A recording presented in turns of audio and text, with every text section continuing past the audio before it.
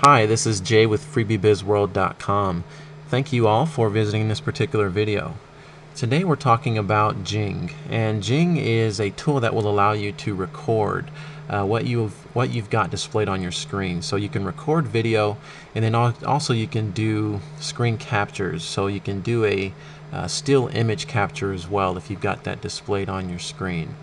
Um, I found out about Jing probably five or six months ago and just was initially amazed at the quality of this particular tool. Um, how you can get to it is if you go to Google, uh, type in TechSmith. Um, you'll see I've got TechSmith there in the Google search bar. So if you just click on the first result, um, it'll bring you to the TechSmith suite. So Jing is a part of uh, is a part of TechSmith.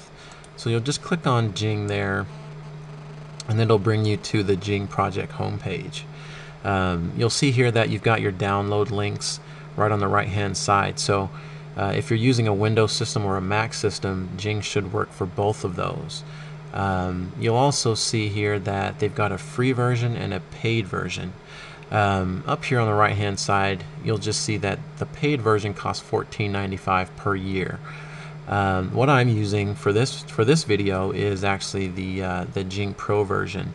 Um, you know, $14.95 per year was almost a no-brainer once you see the differences between the um, between the different versions. So, uh, what I'll do is I'll just quickly click on the uh, the free version here, and then you'll see that it does the uh, the screen capture. So it, it will do a, a capture of an image of a still image that you've got, and then you can also do editing of that. So um, it's got the text overlay on this particular image there so um, and you can see that it allows for for the editing there on the left hand side. Um, and then just quickly scroll down here. It does allow for uh, for the video recording as well. So um, let me scroll up and then we'll get into Jing Pro. Um, I just quickly just wanted to click on the differences between the two. So here's a comparison tool, and you'll see that uh, it's got the free version and Jing Pro, $14.95 per year for Jing Pro, and what both of the tools do is they, they both do screen capture and editing. Um, you'll see here that Jing Pro allows for five minutes worth of screen recording.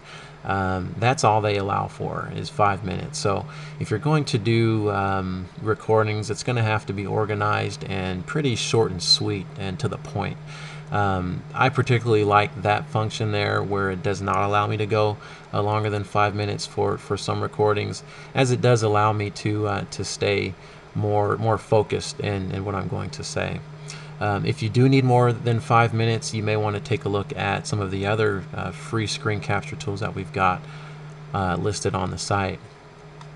So you'll see here as well that both accounts allow for uploading to screencast.com. Um, it's a free account and they give you two gigabytes worth of, uh, of storage area there. So basically what you're doing is uh, you're uploading your videos to Screencast where they house your, your videos on their server. So you don't have to save your videos to, uh, to your computer where um, it might bog down your, your computer and, um, and, and slow it down at all. So I particularly like that. Once once you get it uploaded, you can house those um, those files there until you're ready to, to do something with them. Um, you'll see here that they've got uh, with the free version you can download in W an SWF uh, format. And then with the with the pro version they've got SWF in addition they've got the MPEG 4 video. Um, with the uh, with the paid version you've got unbranded videos. And basically um, if you use the free version when you've recorded your video uh, Jing is is going to display a logo uh, at the top of, of that particular video. So uh, with Jing Pro you will not get um, get that that uh, logo overlay there. Um, with the Pro version you can share instantly uh, to YouTube and, and some other sites uh, like Facebook um, and Viddler.